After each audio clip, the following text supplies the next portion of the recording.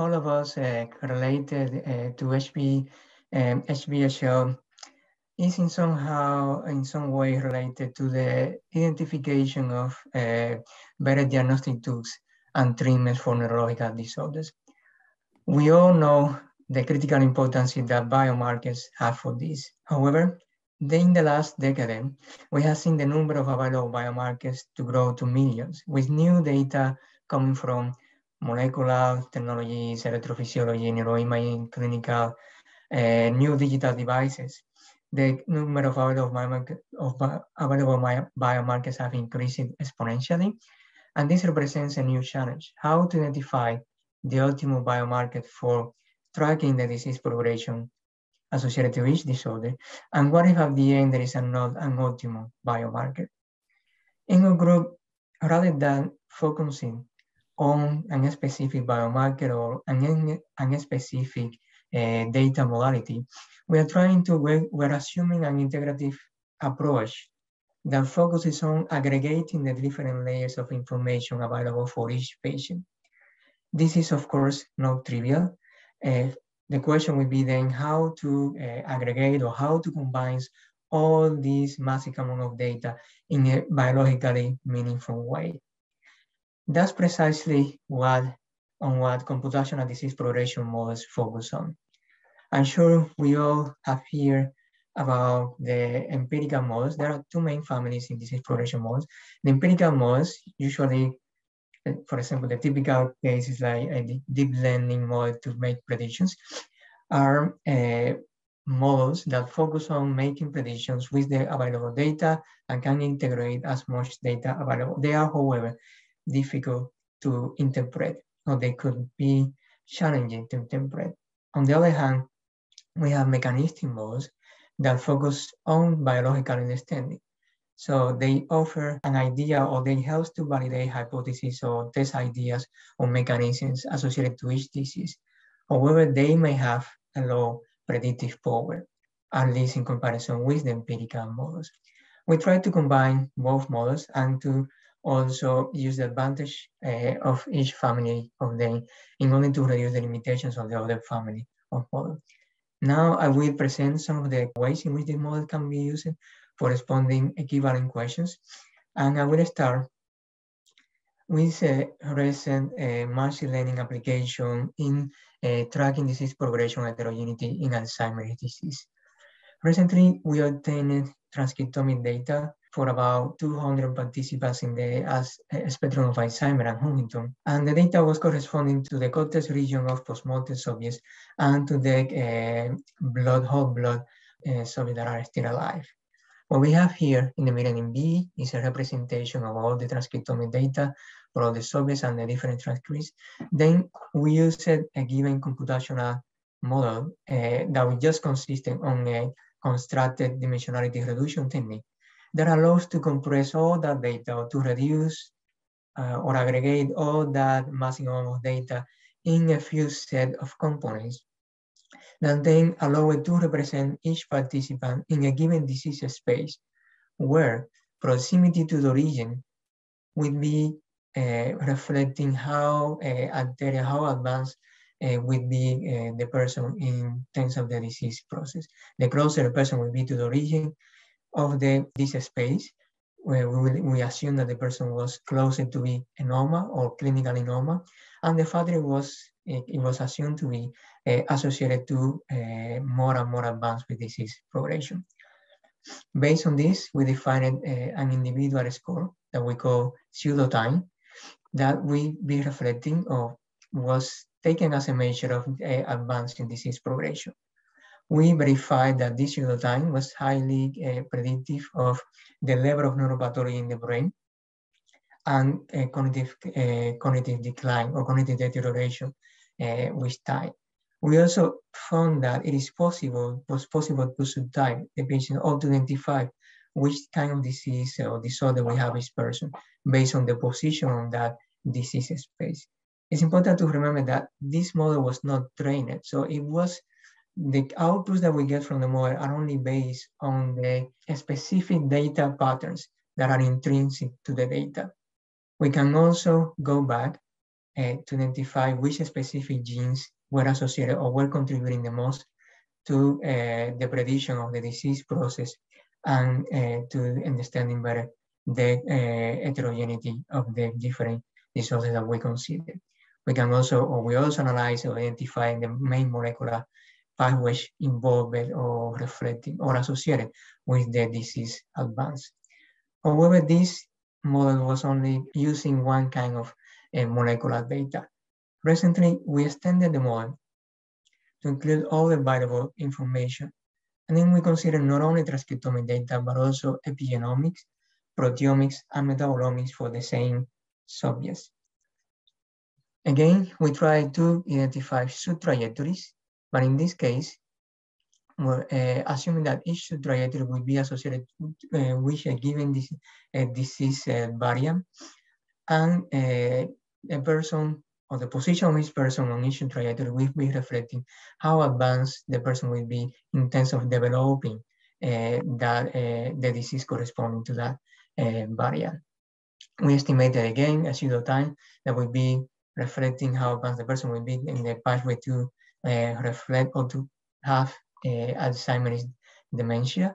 And we also will be obtaining a, a number that will be reflecting the score of the subtype that each person will be belonging to we obtained that there were three main uh, subtypes of Alzheimer's disease that were uh, robust across different permutation uh, techniques. And also we found that they could be obtained not only uh, analyzing the brain data, but also the uh, blood data from living patients.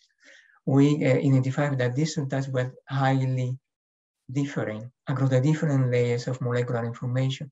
And importantly, persons having uh, or belonging to a given uh, uh, Alzheimer's disease type were having very specific cell type alterations in the brain. In addition, we identified which specific uh, CPG islands or uh, methylated genes, um, differential expressed genes, proteins, uh, metabolites, and brain phenotypes were associated to each specific Alzheimer's disease subtype.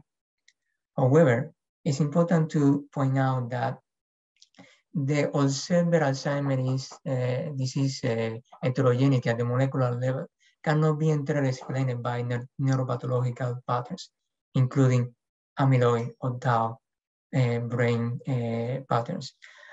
Also, it cannot be explained by clinical severity, uh, severity uh, some specific genes like APOE, or some demographic characteristics like age, sex, and education. And the models that we'll be presenting next will provide or help me to explain better why this, this happens.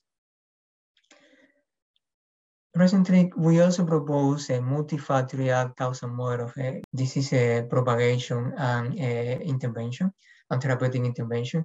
That assume that changing a given biological factor at a given brain region, let's say increasing amyloid or tau deposition and a given brain region, will be a function of all the local causal interactions with other biological factors, like in the influence of the vascular system on the amyloid accumulation, the interaction between the metabolic system and the vascular system, neuronal activity, the level of the atrophy. So this, we were, we're passing now from the empirical models that are able to make predictions, but they don't often deep uh, biological explanations to a model that uh, is assuming that there are specific ways of interaction between the different biological factors at a general, in the general sense.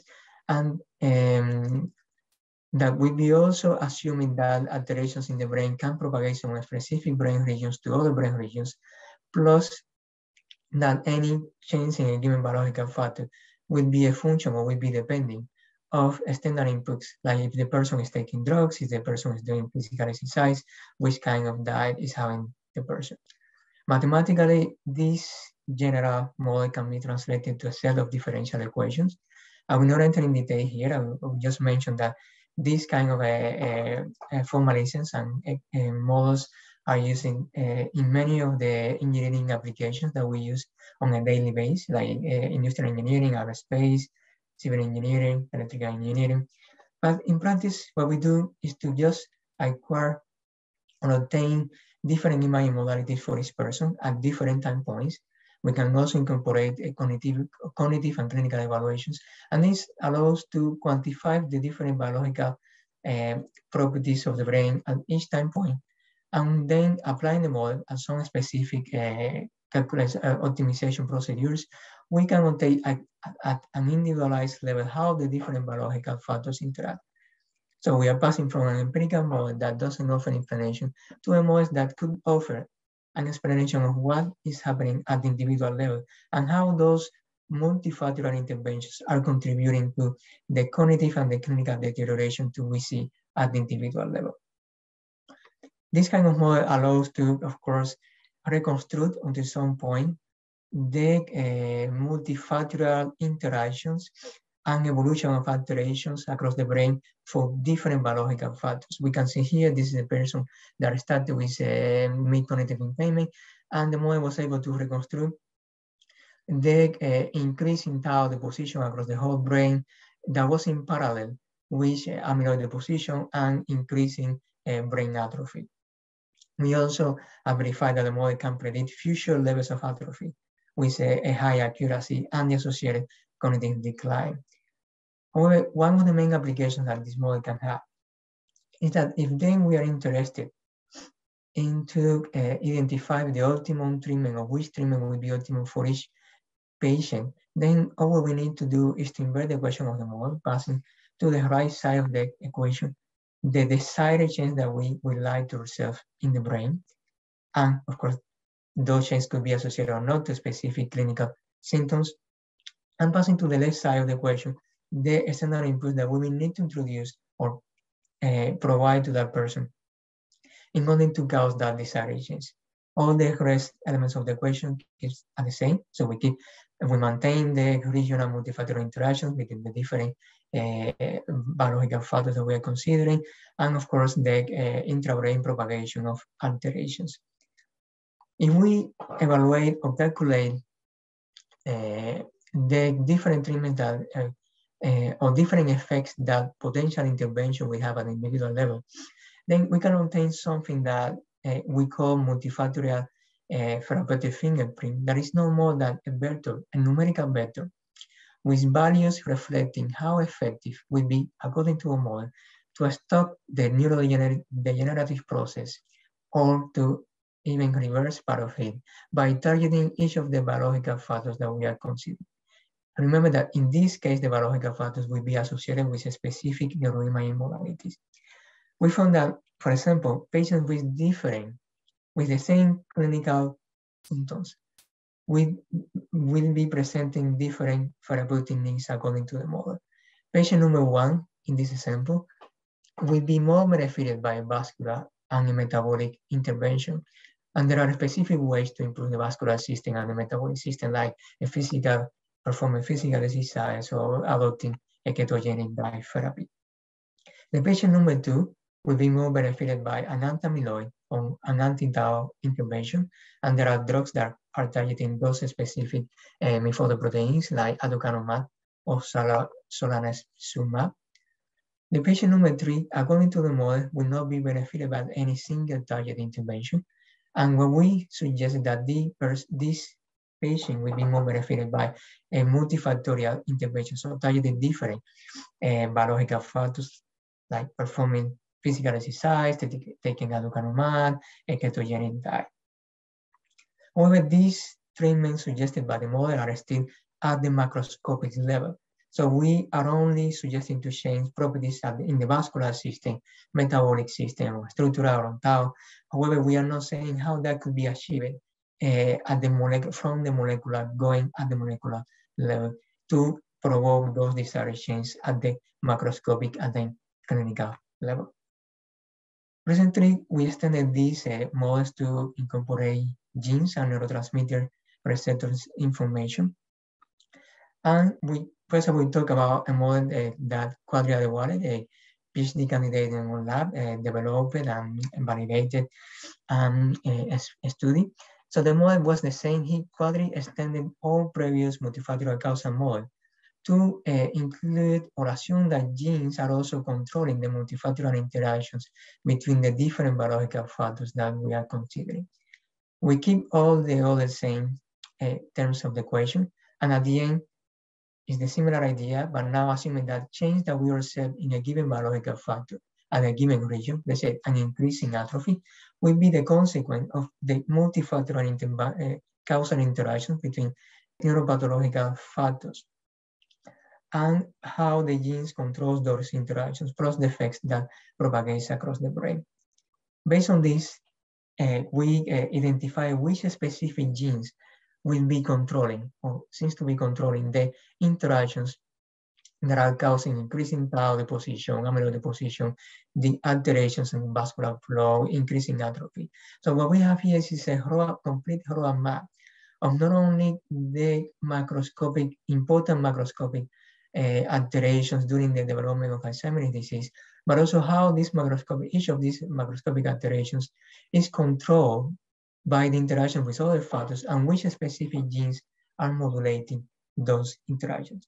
So let's say that if now we will be interested in to reduce a tau in the brain, we could identify and we could select some of these genes according to which, which secondary mechanisms we would want to affect and start dieting that gene, which could be particularly helpful or uh, for uh, improving targets for uh, genetic therapies. Similarly, uh, another PhD candidate in our lab in collaboration with Karl Zilles and Nicola Palomero from Jülich extended the previous model to consider then uh, the densities, the regional densities of about 15 different uh, neurotransmitter receptors.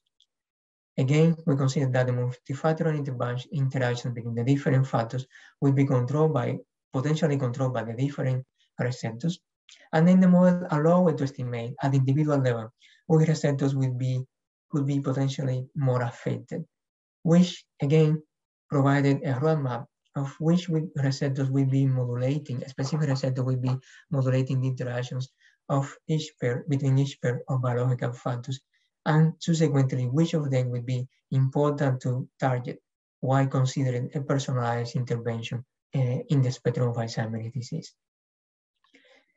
we also uh, in uh, subject-specific receptor alterations that, as we can see here, where uh, could be different for patients having the same clinical symptoms. So that's very important. Usually, most of the clinical treatments or, or, the therapeutic intervention that exists for neurodegeneration are applied based on uh, to group with similar clinical symptoms. However, we are observing that person with the same clinical symptoms could have different, totally different molecular alterations and therapeutic mix. And this model could help to differentiate between the different uh, subgroup of patients and also could provide explanations of why they need different treatments. We continue trying to improve the level of the resolution uh, at the molecular level to which the model we work with. And for that now we are going, we're considering also, or to go beyond the gene expression level to consider uh, also RNA velocity. That is a new metric or a new concept, not only uh, reflecting or not only associated with the abundance of the genes in a given tissue, but also uh, associated with the dynamic change on, on those genes and the uh, mechanisms underlying those uh, dynamic change. For example, we here in the left, we have a population subpopulations of different cell types and uh, that were organized according to uh, the gene expression. And on the right, we have how all uh, what is called the R RNA velocity fields that will be representing how fast this each specific cell will be changing during an associated um, disease process or even during a normal aging process we calculated these uh, RNA velocity fields for uh, different stages of Alzheimer's disease, and we also confirmed that uh, the roles of the cells are changing during the disease progression. And we also uh, verified that there are completely different or very different chains associated with the typical uh, gene expression analysis and the new concept of RNA velocity. So only when we identify which the differential genes uh, based on abundance and on RNA velocity, we see that only 1.2% of the genes overlap.